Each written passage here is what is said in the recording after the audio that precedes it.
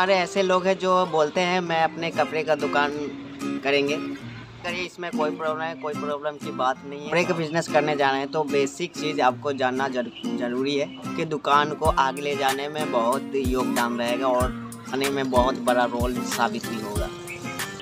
तो इस पॉइंट को आपको गौर से सुना होगा क्योंकि ये लाइफ रिलेटेड हो जाते हैं अगर आप कपड़े का बिज़नेस करते हैं तो। मेरा नाम है रोशन ली स्टार ऐसे तो कपड़े को मार्केट में बहुत ज़्यादा मांग होती है। तो कपड़े की दुकान का एक कंपटीशन होता है। आप किसी एरिया में चले जाइए या गाँव या शहर, आपको कपड़े की दुकान ज़रूर दिख जाएगा।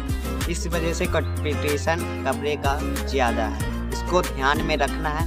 अगर आप कपड़े दुकान में ला के भरेंगे, कपड़े बेचकर आपको जितने भी कमाई होंगे पाँच छः महीने, जितना कमाएँगे, अलग वो पैसा नहीं लगाना है। वो कपड़े ही में लगा देना। अपने जैसे अपनी दुकान में ही लगा देना है, ठीक है? अलग खर्चा नहीं करना है। तो हमारा दुकान हरा भरा लगे।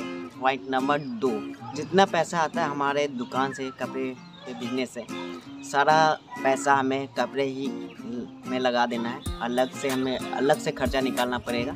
और जितना ऐसे हमें, हमारा दुकान हरा भरा लगे। कपड़े का बिज़नेस एरिया पे भी डिपेंड करता है। जैसे मार्केट में भी है या गाँव के अंदर है या शहरों में है तो इस पर भी डिपेंड करता है क्योंकि कैसे चलेगी, कैसा क्या होगा। अब देखते होंगे शहर में लोग जाते हैं तो महँगे चीज़ पसंद करते हैं, पहनना पसंद करते हैं, डैंगी जीन्स हो गया। और गाँव में लोग सस्ते खोजते हैं शहर के लोगों ब्रांड के पीछे भागते हैं थोड़ा। डिडास चाहिए नाइकी चाहिए स्टार की चाहिए। गाँव की बात करूँ तो गाँव में ब्रांड की वैल्यू नहीं है।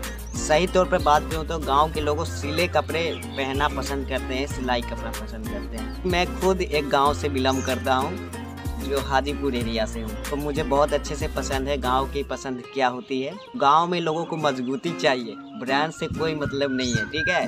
तो वो रेडीमेड लेते हैं वो सोचते हैं कम से कम उसका पैसा में हो जाए कपड़े गाँव के लोगों अगर कोई शर्ट तो 200 में है तो 150 में आराम से मिल जाए, गाँव लोगों का ये है मानना। और मजबूती भी होना चाहिए। ये खोजते हैं, ब्रांड के पीछे नहीं भागते हैं गाँव के लोग। अगर हम बाहर जाएँगे तो वही शर्ट हमें चार सौ की मिलेगी। ये डिफरेंस आ जाता है गाँव और शहर के बीच में, ठीक है? तो कितना डिफरेंस है आप समझ सकते हैं तो कपड़े के बिज़नेस करने से पहले ये पॉइंट ध्यान में रखना ज़रूरी है। ये भी मैटर करता है कि आपकी दुकान किस एरिया में है ठीक है? गाँव में हो तो आपको सस्ते कपड़े रखने पड़ने होंगे और ये सस्ते कपड़े भी रखने आपकी छवि गिर जाएगी। शहर में रखते हैं तो आपके महँगे कपड़े बिक पाएँगे। हम्म, ये भी आपको ध्यान में रखना है कि मेरे एरिया में बहुत सारे दुकान हैं कपड़े की दुकान। अगर हमें किसी कप बच्चे के कपड़े चाहिए या कभी लेडीज़ का कपड़े चाहिए। बच्चे की दुकान में हम जाते हैं बच्चे के लिए कपड़े दुकान लेने के लिए। कप, कपड़े लेने के लिए सॉरी और महिला के लिए महिले के साड़ी सेंटर हो गया साड़ी लेने जाते हैं। तो ये भी हमें ध्यान में रखना होगा किसी पुरुष का कपड़े लेने जाते थे हम दूसरे दुकान में जाते हैं। ऐसे ऐसे सभी है। तो अपने एरिया में आपको एक्सपोर्ट बनना होगा क्योंकि ये बेहतर तरीका होता है। आप किस किस एरिया में किस चीज़ का खोलें यह आपको सोचना है किस पे डिपेंड करता है। अगर आप उसी, आपने एक ही दुकान में अलग अलग लेडीज़ का अलग बना दीजिए जेंट्स का अलग बना दीजिए कि किसी दूसरे दुकान में जाना ना पड़े। तो आपके पास बच्चों रिलेटेड कपड़े हैं तो बच्चे रिलेटेड लगा दीजिए, ठीक है? और जेंट्स रिलेटेड हो जेंट्स और लेडीज़ रिलेटेड हो तो लेडीज़ रिलेटेड ये सब मिलने चाहिए। किसी को औरत के कपड़े लेने चाहिए तो औरत के जो कपड़े बेचते हैं, उसी के पास जाएँगे। किसी के तो बच्चे रिलेटेड कपड़े बेचते हैं, उसी के पास जाएँगे। तो इसमें आपको एक्सपोर्ट बनना है। जो लोग कपड़े के दुकान खोल के बैठे हैं, जिसके आसपास मॉल हो गया कॉम्प्लेक्स हो गया, नहीं खुला है, वो लोग सुकून में है अभी। को देख के लगता है कि हमें भी कपड़े का बिज़नेस स्टार्ट कर लेना चाहिए।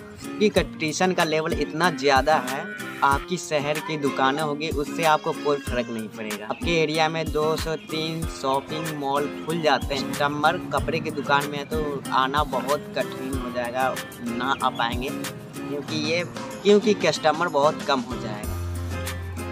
क्योंकि ये बात मैं खुद नोटिस किया हूँ, कई सारे दुकानदार से पूछा हूँ।